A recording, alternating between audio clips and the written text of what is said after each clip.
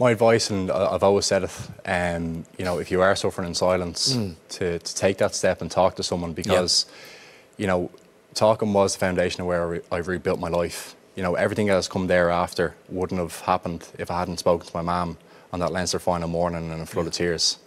Um, and you know, for, for me, and I know it's not an easy thing to do. It's Yeah. you know, it's confiding in someone, whether it be your mum or dad.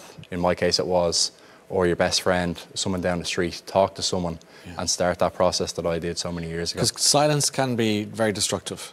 Absolutely, absolutely, and and that's the thing. Get it out in the open, and you know, you wouldn't believe how much of weight off your, your shoulders um, you can get from just talking to someone, and how much you know you can relate and resonate with someone when you do, you know, talk to talk to them about your dark days. And there was a time, I mean, I'm, I'm much older than you, but there was a time when people were afraid to admit that they were even talking to a therapist or a counsellor or whatever. I think that's kind of stopped now. People say, yeah, I talked to somebody, I need to kind of let the mind go for a walk with somebody who's not going to judge. You know, it makes a lot of sense, doesn't it? Yeah. And there are lines from whether it's the Samaritans or Pieta. There's there are people uh, free free phone lines for people. I just think there are a lot of ears out there. Would you agree that that are waiting for people who are in trouble? Absolutely, and, and as you've mentioned, there's so many you know listening ears that want to just so deeply help people. Yeah. uh, who are in need, and you know, there's no no judgment, absolutely no judgment. It's not a weakness to to say you're suffering, to say you're struggling, and that's that, that's where I'm trying to come across in terms of getting that message out there.